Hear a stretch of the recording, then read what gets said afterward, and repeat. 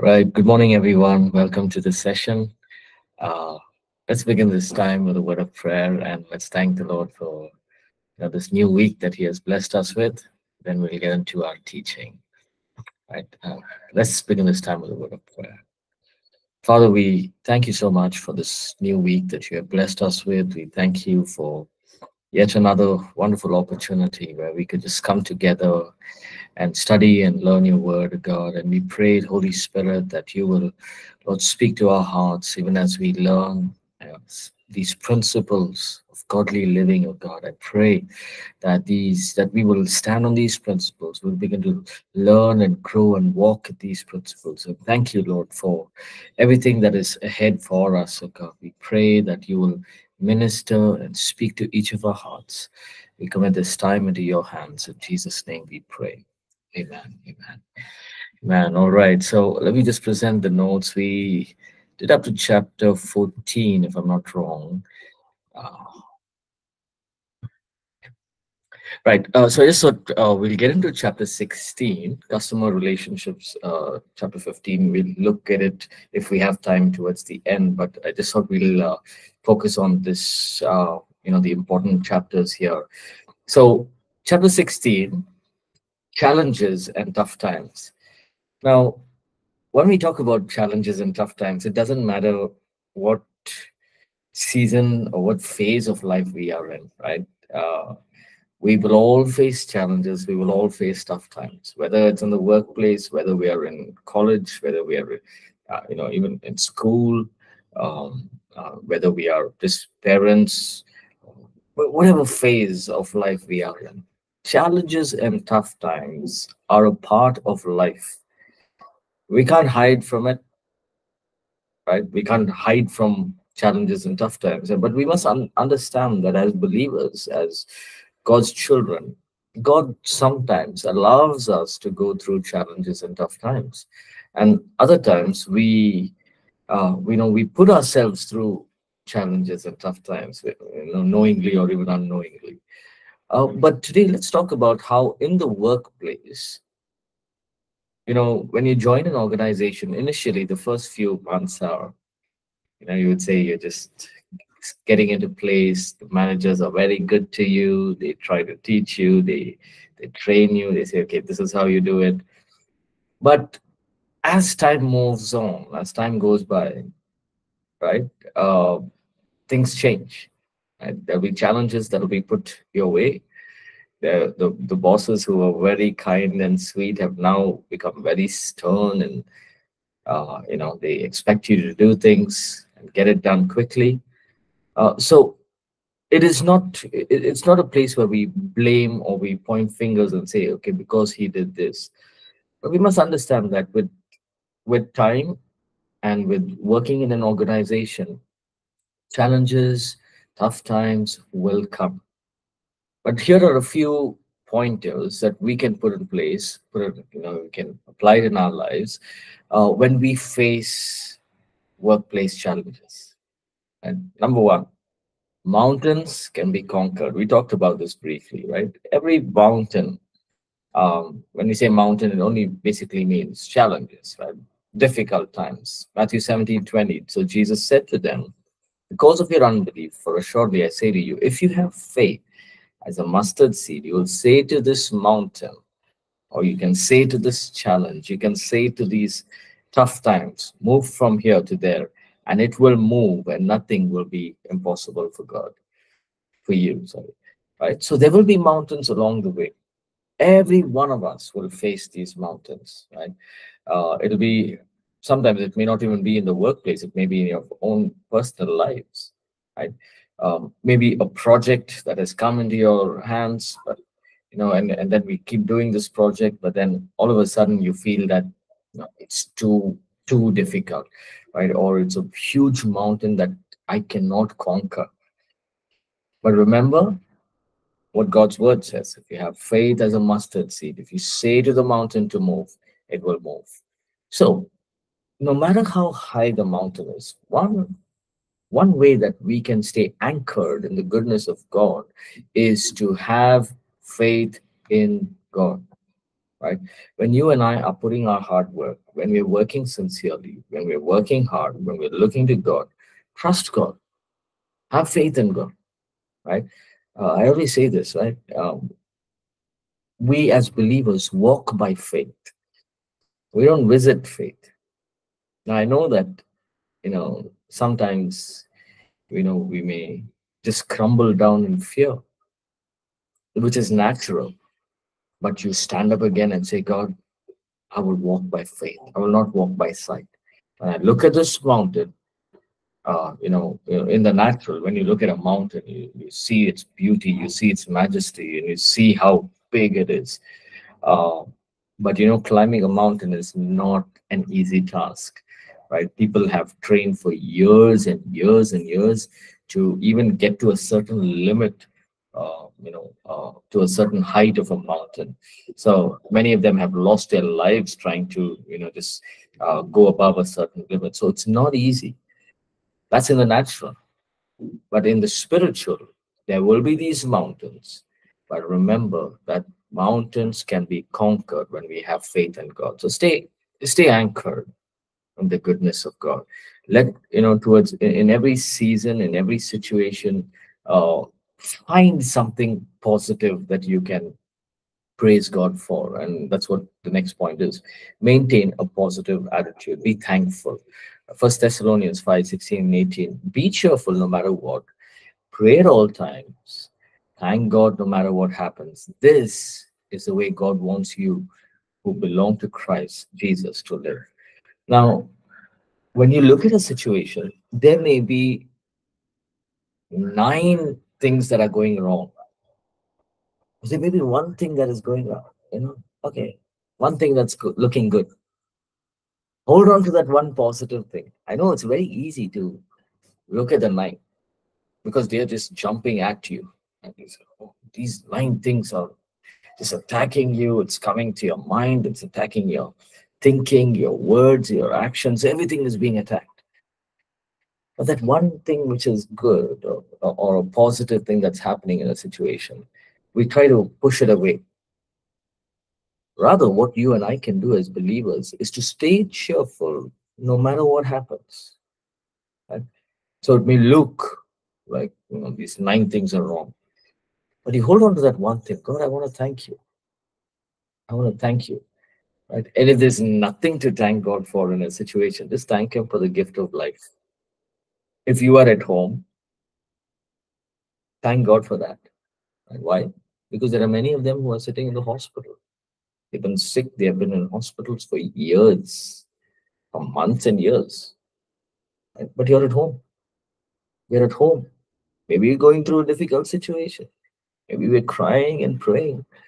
And you know, we're thinking, God, are you even listening to me? But find that place of, you know, comfort and be thankful. How can we do that? We can just say, God, I know the season that I'm going through is very bad. Nothing looks right. But Lord, I want to thank you for the gift of life. There are many of them who've lost their lives. There are many of them who are in hospital, hanging on to dear life. But you've given me good health. You've given me good, good strength. And I know that you know one day i will overcome this mountain. So you know when you focus on the on the things that have been good and positive things all of a sudden these these mountains which look like mountains it doesn't look like anything. Sometimes we you know we we think hey why was i even worried about this? It's nothing to be worried about? Because we have focusing on the positive. You know as as pastors we go to you know a lot of funerals right? And it's a reality check for us. Because one day we know that we're all going to pass this we're going to all be there right? That's we know that. We cannot run away from it. We cannot hide from it. But many a times you know i have said to myself god i want to thank you. This life that we are living is a gift may not be that everything is going the way I want it to go, but the gift of life itself is something that we must be grateful for. So find things that you can be positive about. right? Don't be focusing only on what's going wrong. Focus on what God can do in your life, right? Then don't lose your confidence. Psalms 40, uh, 1 to 3. I waited patiently for the Lord's help. Then he listened to me and heard my cry. He pulled me out of a dangerous pit, out of a deadly quicksand. He set me safely on a rock and made me secure. He taught me to sing a new song, a song of praise to our God. Many who will see this will take warning and will put their trust in the Lord. Now, here again, David is writing and he's saying, Don't lose your confidence. I think David is somebody who can really say this with all confidence because he had many, many situations where he could have just said, Okay, God, I'm losing confidence, right? He had Saul running after him. He had, uh, you know, enemies attacking him from every side. He was hiding in caves. And it's very easy for him to lose confidence, but he did not. Right? Don't give place to negative thoughts. Right? See this negative thoughts like fear, anxiety, or depression. Remember, fear, anxiety, depression, they destroy faith they destroy it. Right? So don't lose your confidence. Stay strong in the Lord. Stay anchored in God. Right? Sing a new song to the Lord. And one of the things we can do is we can just, uh, you know, look to the Lord and say, God, I know that I I feel weak. I know that I'm losing confidence, but I know that I can also put my trust in you. And you are a God who will work in my life. Right? So here's what Psalm says in uh, Psalm 42 11. This is what David is saying. Why am I so sad? Why am I so troubled? I will put my hope in God. Once again, I will praise Him, my Savior and God. So it was like David is speaking to his own soul, his own emotions. Right? As a human being, David, I'm sure he he he's going through all of these difficulties. Right? He's seeing it firsthand, but he's he's speaking to his own soul and he's saying, Why are you sad? Why are you so troubled? You know, when I was a shepherd boy, probably he thought of all this. I was a shepherd, I killed a lion and I killed a bear with my own hands. When I, when all the armies of Israel was afraid of uh, Goliath, I was standing there. I killed Goliath by God's hand, with the help of God. God was with me. So now why am I sad? Why am I troubled? Why am I afraid? I know that God is with me. Even though I don't see it, I don't feel it, I know God is with me. So I will put my hope in God. Once again, I will praise him. Look at that.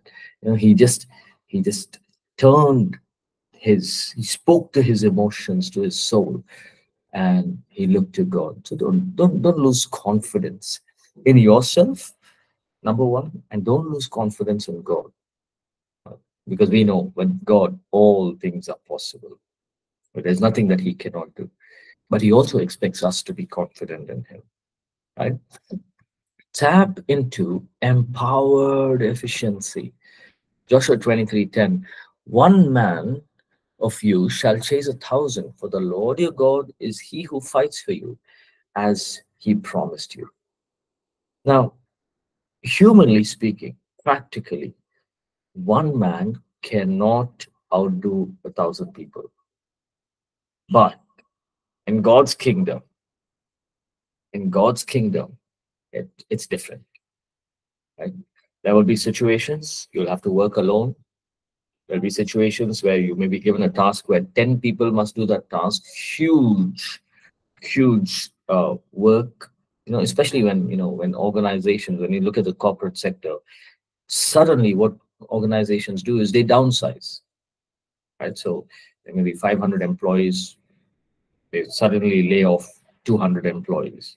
So you got 300 people working who have to do 500 people's work, right? And so what's going to happen? The managers are going to put a lot of work on you. So you may have to do 10 people's work. Now, this is not uncommon. This is something that happens even now, right? It's extremely stressful. It is challenging.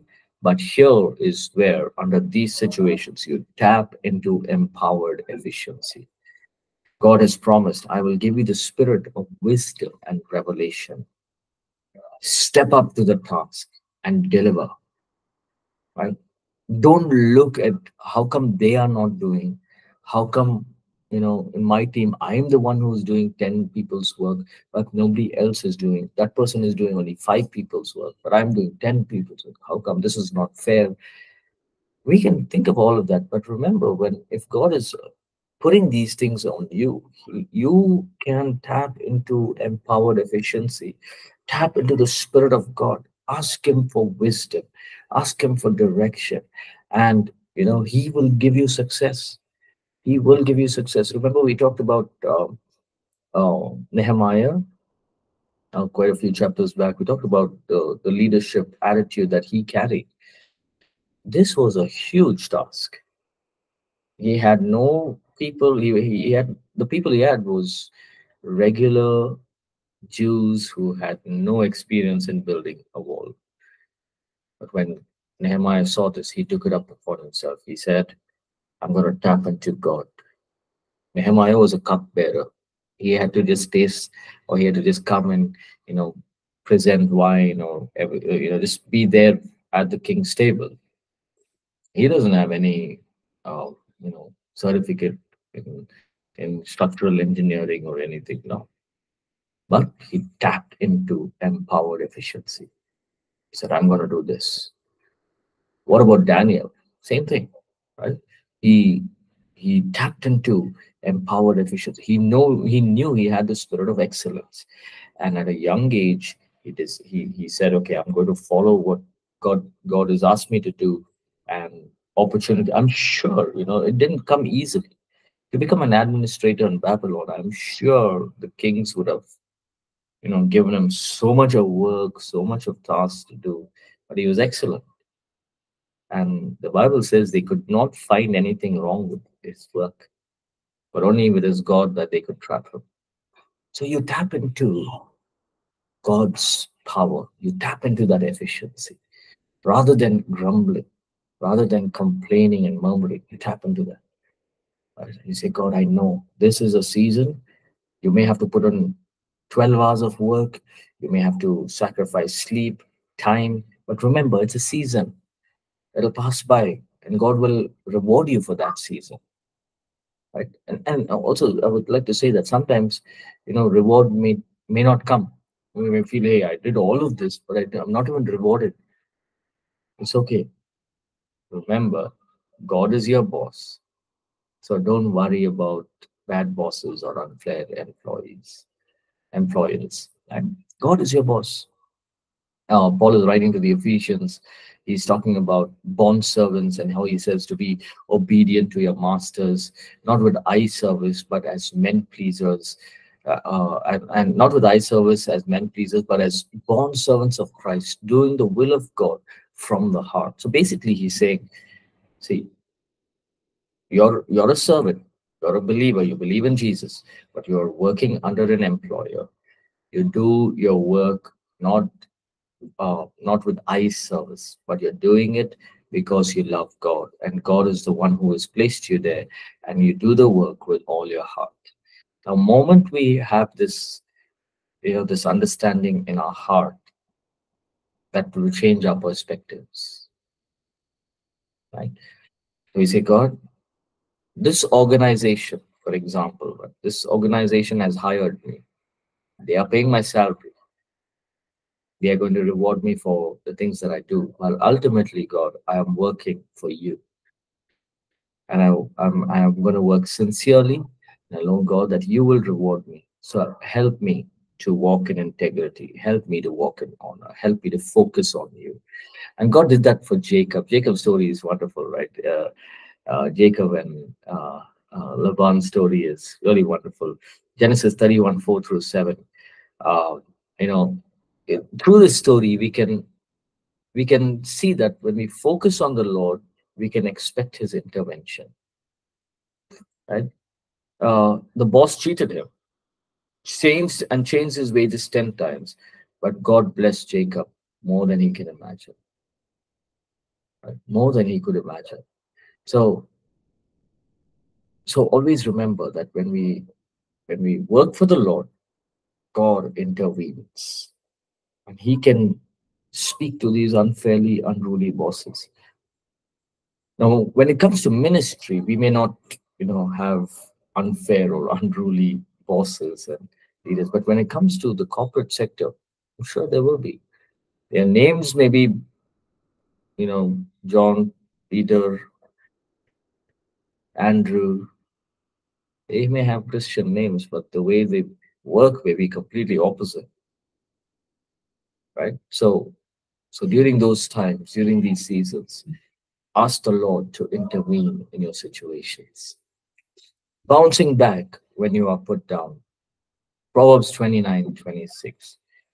Many seek the ruler's favor, but justice for man comes from the Lord. Look at that. This is Solomon writing. He's saying, and he's, he's a ruler himself, he's a king. He's saying, many seek our favor, but justice for man comes from the Lord. Many times, you know, this word, people can position to manipulate things and displace you, right? Manipulate and displace you. Think of these two words, manipulate. Sometimes leaders and you know can manipulate you, can say, you do it like this. If you do this report this way, and it, then you know it'll be good for you.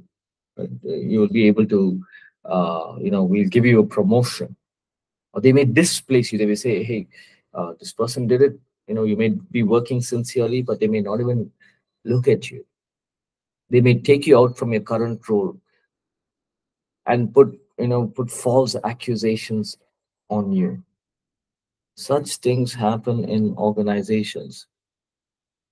Now, I'm not saying it's not good to have favor from your boss. Remember Daniel when he was uh, uh, uh, the governor, uh, Darius, King Darius came and uh, the Persian king, and he had favor from King Darius. Daniel had favor. So it's good to have favor from the manager.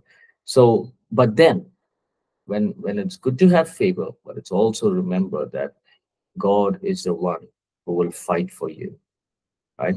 Don't fight back. Don't retaliate. Don't go around speaking ill of your boss or your manager. Keep your eyes fixed on jesus. And with god's help you will come back strong you will come back diligent you will come back with great results. Look at these things. These are very important. The the initial reaction is to fight back normally the initial reaction could be to retaliate or if you can't do any of these two, just go around speaking bad. The speaking is not going to cost you anything.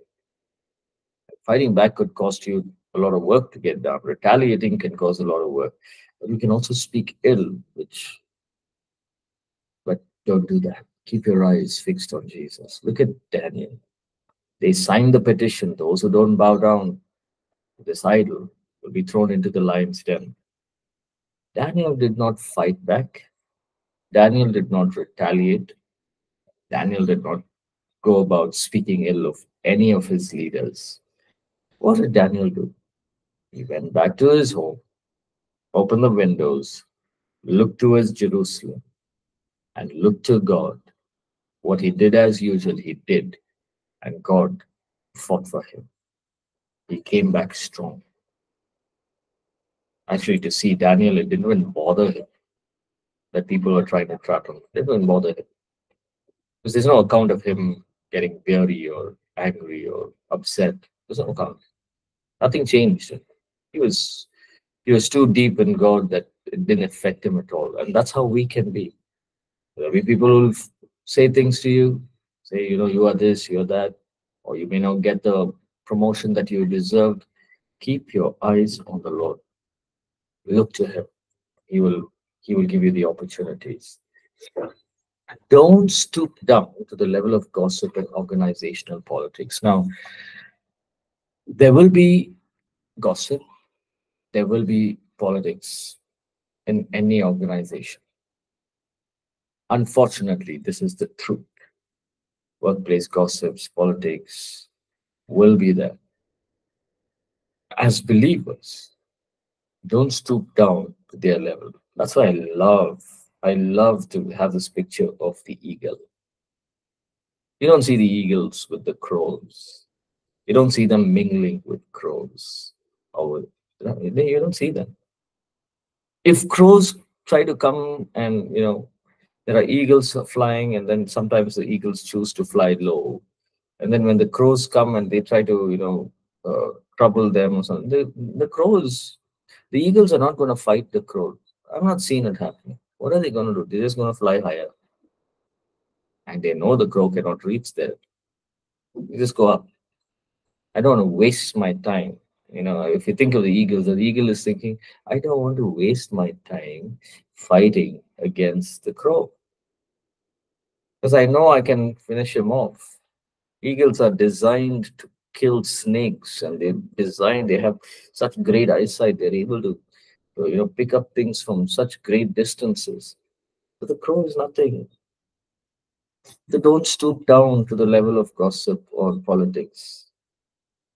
Tell yourself, you know, there's this picture that somebody showed me once, long time back. Uh, I mean, you've seen those dog races, right?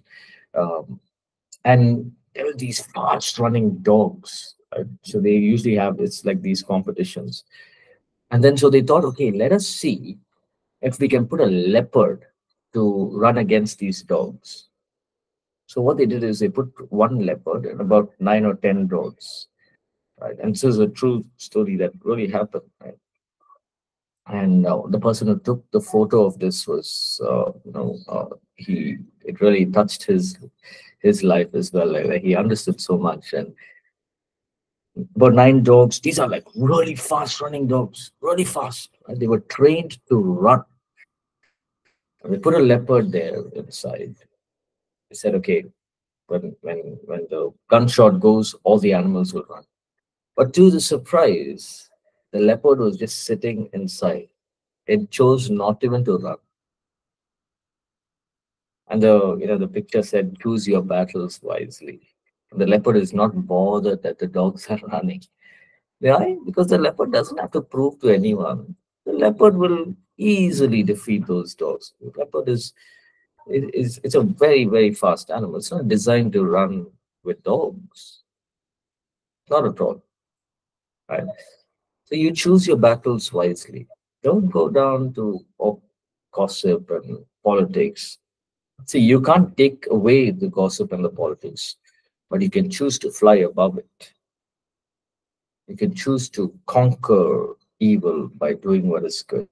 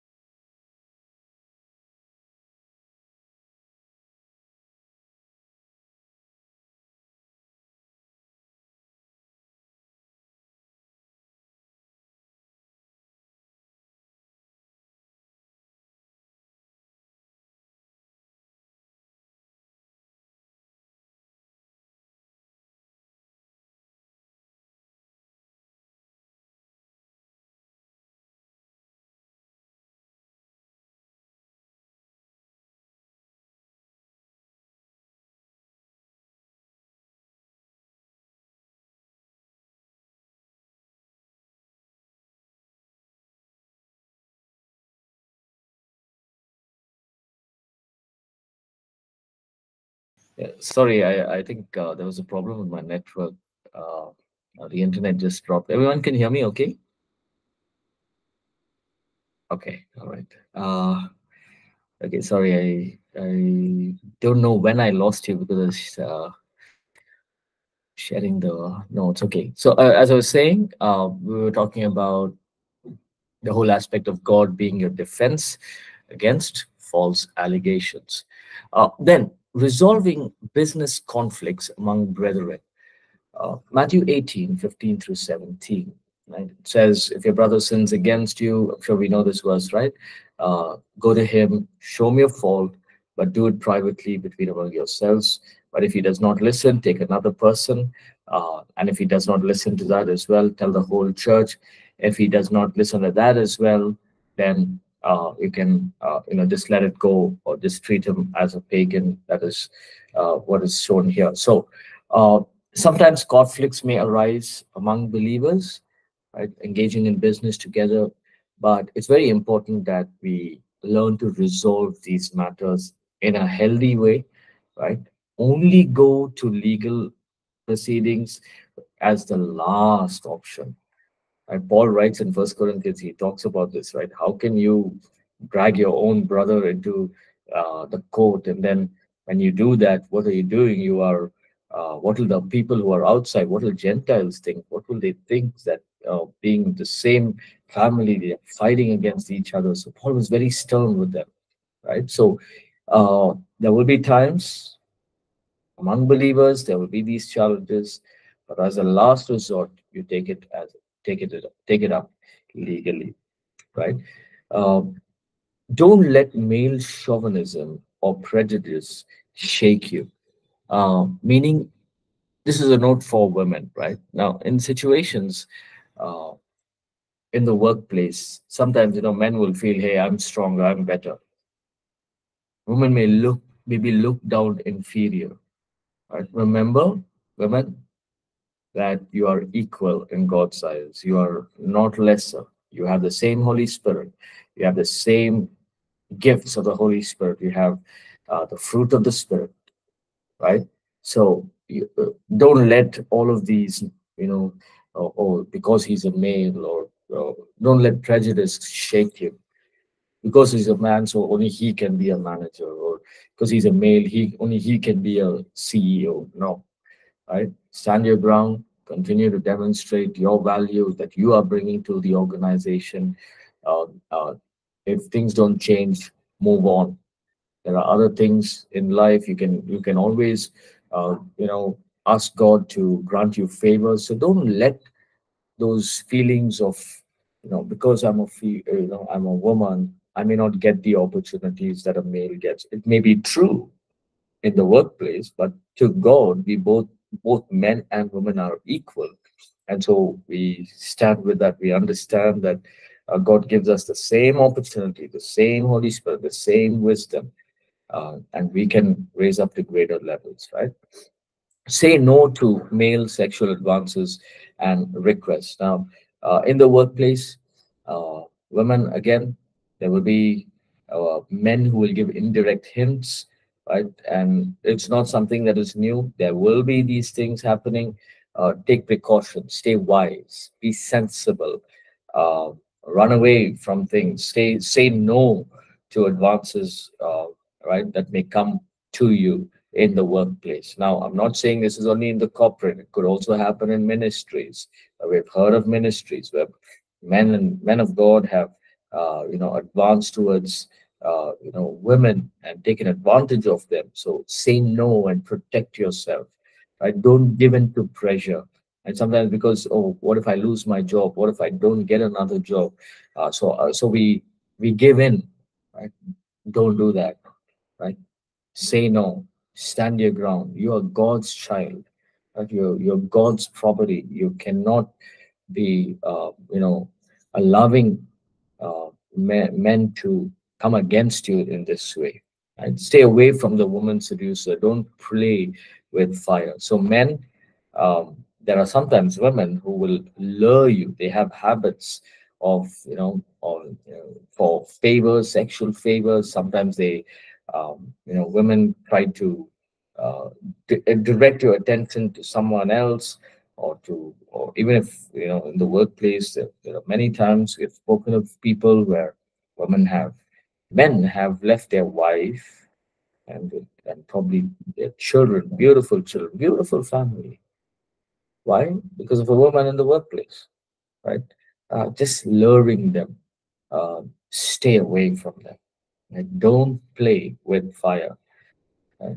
uh, remember that God is watching you. God is watching us. We need to be careful on what how we stand our ground. Right? If you're ridiculed for your faith, stand strong, knowing that you are blessed. Again, uh, you know, we will be ridiculed at times, right, for our faith. Hey, you know, this guy is only talking about Jesus. Sundays he's not going to come for uh, you know, playing football or playing soccer because he goes to church or he's always uh, praying and he's always doing the sign of the cross or he's always doing this he's always uh, preaching to us people will ridicule you. And that's a fact. They've done it to jesus. They did it to his disciples. They did it to the early church. They will the enemy will keep doing it till the end of time. It will be ridiculed right? But continue to do your work. Again as we said right? Stand strong. Focus on God. Know that you know it's such a blessing uh, that people are ridiculing you for your faith. It's a blessing. That means you are you're doing something right. You're working and you're standing with godly principles. If you're not being ridiculed for your faith, sometimes you can say, "Hey, uh, am I being a believer or what in the workplace?" Right? But if you are being ridiculed, it's all right. That means you're standing your ground. That means you're standing with God's principles and, and walking with godly principles, right? Wisdom answers to nepotism. A wise servant will rule over a son who causes shame and will share an inheritance among the brothers. Right? A wise servant. Now, uh, nepotism is basically when uh, you know a boss may have a son or a daughter, and they've been just given the uh, role of a manager or senior manager, even if they are not capable of performing the work, right? And it's very easy for us to say, hey, because you know your father is a boss, so now you become the assistant manager. Uh, how can you do that? And it's very easy, but remember, respond with wisdom. Your wisdom will get you noticed and give you access. I was, I was reading an article, you know, we are talking about uh, um, the Pharaoh and uh, you know, uh, when during Moses' time, Moses was scheduled to be the next pharaoh, because this history proves that he went, he won many wars. He was the strongest Egyptian commander during that time. Uh, he knew he's a Hebrew. The, the Pharaoh knew that he is not Egyptian, but you know he was able to. He was able to show it by his work right? So wisdom will get you noticed and give you access. Uh, you know, wisdom is greater than nepotism, right? So I'm not saying nepotism will be there, but you continue to uh, work in wisdom. The pink slip and honorable exits. Now, there are two things here, right? So one is sometimes we will have to let people go part of the organization. And other times, people will want to leave the organization, uh, maybe for a better job or for their own personal reasons. In both of these situations, do it in an honorable way. If you are getting somebody to requesting them to leave the job, be honorable. Try to leave in good terms. Be friendly. Be honorable. All right. Um, and maybe you can help them plan for the next step if a person has already got a new job and he is, wants to move from the current job to another job, bless them. Don't don't fight to them and say, hey, you have to stay. You know what? You, uh, I I I spoke to, I served you. I mean, I provided for you for so many years. How can you leave? Uh, no, we release them honorably. Let them go. Right. Remember that Stay yielded to God, His purpose. He will work all things for good. But especially when it comes to letting people go, it's hard. We may have to do that, right? Uh, we have to do it in an honorable way. Right. So remember, challenges and tough times can be conquered, and we conquer it through faith. And mountains can be conquered. So if you or any of us are facing a mountain in our life, whether personal or in the in the workplace, wherever we are, remember to maintain these attitudes. Right. Uh, we'll take a break. Uh, we'll just take a little bit of an extended break. We'll come back at 11 and uh, we will go to the next chapter. Uh, and hopefully, we should be able to complete the next chapter. Let's take a break. We'll come back at 11 o'clock. Thank you.